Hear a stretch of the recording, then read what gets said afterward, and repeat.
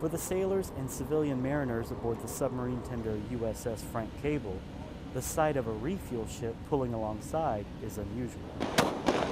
Because it's been 10 years since the last time the ship conducted a refuel at sea. And re-establishing these capabilities is all part of a bigger goal for the Frank Cable. Well, the underway replenishment uh, means that we can go longer between port visits without having to fuel in port. These longer legs are an enabler to expand our mission set, not just in repair, but also in warfighting support, humanitarian assistance and disaster relief, and theater security cooperation. Longer legs, an enabler for missions. Reporting from the USS Frank Cable, I'm Petty Officer Brandon Chuang.